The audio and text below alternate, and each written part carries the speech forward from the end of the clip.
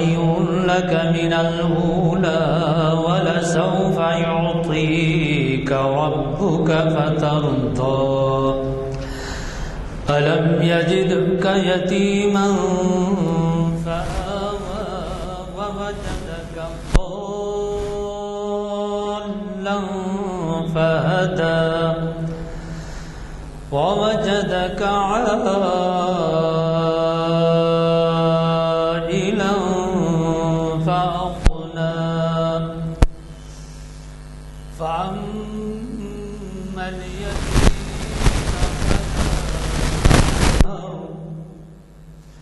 وأما السائل فلا تنهر. وأما بنعمة ربك فحدث. صدق الله العظيم. کا شکر ہے کہ بارش تو ہوئی لیکن ایسی نہیں ہوئی کہ جس کی وجہ سے ہماری محفل کو برخاست کرنا پڑے۔ یہ بھی عجیب اتفاق ہے کہ بارش کا موسم ختم ہو گیا۔ اب یہ اکتوبر کے مہینے میں کیا رفتہ رہے گی بارش۔ تو پورے بارش کے موسم میں کبھی بھی ہماری محفل ملتوی نہیں ہوئی۔ یعنی ایک محفل کی تعمیر۔ سلطان عبد عبداللہ قطب شاہ کے عہد میں ہوئی۔ اس مسجد کے تعمیر کرانے والے جنرل موسیٰ خاں ہیں، جو عبداللہ قطب شاہ کے عہد میں محلدار تھے۔ اور انہوں نے اس مسجد کو بہت ہی جانفشانی کے ساتھ تعمیر کروایا۔ اس کے لیے جو معمار رکھے گئے تھے، وہ معمار غیر مسلم تھے۔ اور لیکن فن اپنے فنی خوبیوں سے اور فنی صلاحیتوں سے بہت ہی اچھی طریقے سے واقف تھے۔ انہوں نے اس مسجد کی تعمیر میں ہندو طرز تعمیر کے بھی کچھ نقوش چھوڑے ہیں، جیسا کہ مسجد کے قبل رخ کے دیوار پر جب ہم نظر ڈالتے ہیں، تو وہاں پر ہم کو دو مساجد اوپر جو ہے نظر آتی ہیں۔ اور اسی طرح ہاتھی کی سونوں کا بھی اس میں استعمال کیا گیا ہے، جو چھجے کے پاس لگی ہوئی ہیں ہاں، اور بہت ہی خوبصورتی کے ساتھ فنکاروں نے اس کو تراشا ہے۔ ایسے ہی مسجد کے اندر جو جالیاں لگی ہوئی ہیں، وہ جالیاں بھی مختلف انواع و اقسام کی ہیں۔ آٹھ قسمیں تو اس میں ہیں۔ ایک تو جو ہے آپ کے نورانی جالی، انجم جالی چھٹماس جالی، اٹھماس جالی تو اس طرح سے مختلف انواع و اقسام کی جو ہے جالیاں اس کے اندر ہیں اور مسجد کے قبے اور مینار وغیرہ اور اس کے محراب وغیرہ بھی جو ہے، بہت ہی اچھے ڈھنگ سے جو ہے، فنکاروں نے اس میں جو ہے تراشا ہے اس کو تعمیر کیا ہے۔ اس طریقے سے یہ مسجد نہ صرف حیدرآباد بلکہ ہندوستان کی سب سے خوبصورت ترین مسجدوں میں سے ایک مسجد ہے۔ اس طرح کا کام دوسری مساجد کے اندر کہیں پر بھی دیکھنے کے لیے نہیں ملتا۔ یہاں پر اس جنرل موسیٰ خان نے مسجد کے اللہ کے گھر کو خوب سے خوبصورت ترین کرانے کے لیے ہر طرح کے آرائشی کام اس کے اندر کرائے ہیں۔ گچ کے جو کام ہوئے ہیں وہ بہت ہی قابل دید ہیں۔ اور بیرونی سیاح بھی جو ہے اس کو دیکھنے کے لیے اکثر و بیشتر یہاں پہنچتے ہیں اور مسجد کا دیدار کرتے ہیں۔ ٹولی کے معنی جو ہے، ٹولی اصل میں ایک پیسے کے دو ٹولی ہوتی ہے ٹولی اور ایک ٹولی کے چار دھیلے ہوتے ہیں۔ اور ایک دھیلے کے جو ہے، دو دمڑی ہوتے ہیں۔ اور ایک دمڑی کی پچیس کوڑیاں ہوتی ہیں۔ ہاں؟ یہ جو ہے ٹولی کی یہ سراحت ہے۔ ہاں؟ اسی طریقے سے ایسے ہی ٹولی ٹولی چوکی ہے۔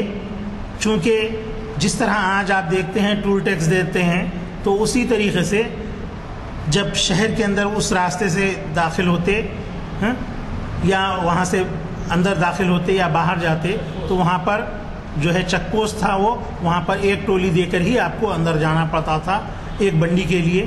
بیل کی بھی جو بنڈی ہوتی تھی، ایک بیل کی ہاں، دو بیل کی بنڈی رہی تو دو ٹولی دے کر کے جانا۔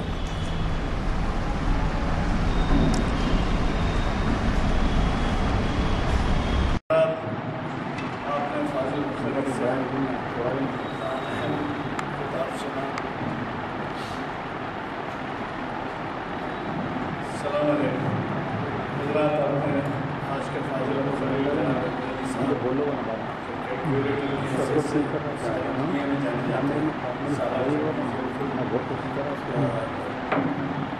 ادارہ ہے کہ ایسا عجوبہ ہے جو ساری دنیا میں شہرت ہوتا ہے online correction gun foundry کے کانفرنس ہال میں منعقد ہوئی اور اس کو مخاطب کیا۔ جناب احمد علی صاحب نے بعنوان حیدرآباد کی ٹولی مسجد کا طرز تعمیر۔ یہ ملاحظہ کیجیے آپ کہ یہ جو طرز تعمیر ہے، ایسے وقت کا ہے جبکہ نہ آپ کے انجینئرس تھے، نہ کوئی ایسے عجوبے موجود تھے جن کو اس کا ثانی کہا جائے۔ ایسے میں جو ہے، اس قسم کے تعمیرات جو ہیں، وہ بڑی نمایاں حیثیت رکھتے ہیں، جس سے ظاہر ہوتا ہے کہ ہمارے جو کوئی بزرگان گزرے ہیں حکومت میں، وہ کتنے وسیع نظر تھے اور ان کی وسیع نظری اس میں جھلکتی ہے ان کے تعمیرات کے اندر۔ آج بھی آپ کو معلوم ہے کہ ذکر کروں میں تاج محل کا، تو دنیا کے سات عجائبات مشہور ہیں، اس میں ایک تاج محل۔ تو یہ جو ہے طرز تعمیر کے لحاظ سے انگریزوں نے شاہ جہاں کو شاہ جہاں دی بلڈر کہا تھا۔ وہی ایک جگہ نہیں ہے۔ ان کے تو کلکتے میں اور کئی جگہوں پہ ہے۔ اس کا تو ذکر بھیجا ہوگا۔ صرف اتنا یہ کہ پیلس بلڈر کے نام سے آج یاد کیا جاتا شاہ جہاں جو مغل بادشاہ تھا بہرحال آج بعد نماز اثر، یہ محفل منعقد ہوئی، جس کا عنوان آپ سن چکے ہیں۔ حیدرآباد کی ٹولی مسجد کا طرز تعمیر۔ ہم مشکور ہیں آج کے مخرج صاحب کے، خصوصاً اس وجہ سے کہ ان کے آنکھ کا آپریشن ہوا اور مجھے توقع نہیں تھی کہ وہ اتنی دور سے اور رمجم بارش کے اندر تشریف لا سکیں گے۔ اور میں نے تیاری کر لی تھی، کچھ ایسے کتب لا لیے تھے کہ میں کسی صاحب سے، موزن صاحب پیشوام صاحب سے پڑھانا چاہتا تھا۔ لیکن ان کے احساس احساس ذمہ داری دیکھیے۔ کہ کل آپریشن سے وہ فارغ ہوئے اور آج یہاں موجود ہوئے۔ حالانکہ بارش ذرا جھلک دکھا رہی تھی۔ اس کے باوجود میں یہ سمجھا کہ یہ دو مشغولیاں ان کے رہیں گے لیکن انہوں نے اپنے جو وعدہ کیا تھا اور جو آج اخباروں میں بھی ہے اور جو ہمارے پیمفلیٹ میں بھی ہے، محافل کے جو پیمفلیٹ شائع ہوتے ہیں اعلامی ہیں۔ تو اس کو انہوں نے پورا کرنے میں ہمیں مدد دی۔ بڑی خوشی کی بات ہے۔ البتہ آپ سے ایک ریکویسٹ یہ ہے کہ پیر کے دن جو خطاب ہے، اس خطاب میں آپ ضرور تشریف لائیں۔ حافظ محمد اسحاق کمال خادری صاحب تعارف کے محتاج نہیں ہیں۔ انہی کے ابتدا سے درس قرآن مجید ترجمہ و تفسیر شروع ہوا۔ اور اب وہ مخاطب کر رہے ہیں۔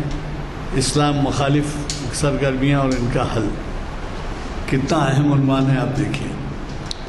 یعنی بعض وقت تو ایسی خبریں آ رہی ہیں کہ رات کی نیند حرام ہو جاتی ہے اور یہ عنوان اسلام مخالف سرگرمیاں اسلام مخالف سرگرمیاں اور ان کا حل۔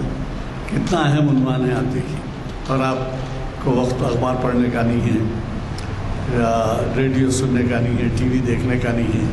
تو یہ نچوڑ آپ کے سامنے پیش ہوں گا کہ اسلام مخالف سرگرمیاں اس وقت دنیا میں کس طرح سے چل رہی ہیں۔ اور ان کے مقابلے کے لیے کہ کیا کیا اپائے، کیا کیا تدابیر اختیار کیے جا رہے ہیں۔ مجھے خبی توقع ہے کہ آپ پیر کے دن اثر کی نماز یہیں پڑھیں گے اور مولانا کے استفاع خطبے سے استفادہ استفادہ فرمائیں گے۔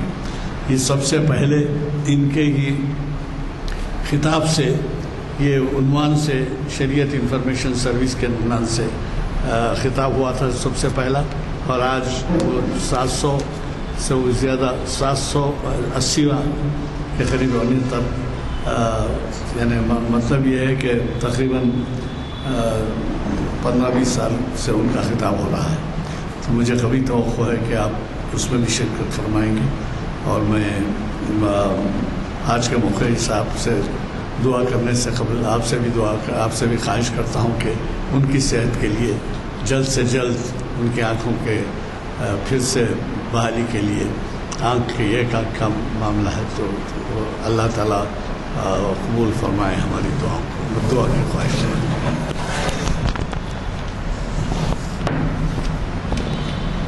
اللہم صلی علی سیدنا مولانا محمد بعدد من صلی اللہ وسلم وصلی علی سیدنا مولانا محمد بعدد من قادہ وقام اے اللہ ہمارے گناہوں کو معاف فرمائیے۔ اے اللہ ہماری خطاؤں کو درگزر فرمائیے۔ اللہ جو بیمار ہیں انہیں شفا عطا فرمائیے۔ اے اللہ جو قرض دار ہیں ان کے قرضوں کو ادا فرمائیے۔ اے اللہ جو لڑکیاں بن بیاہی بیٹھی ہوئی ہیں اللہ ان کی شادیوں کا بندوبست فرمائیے۔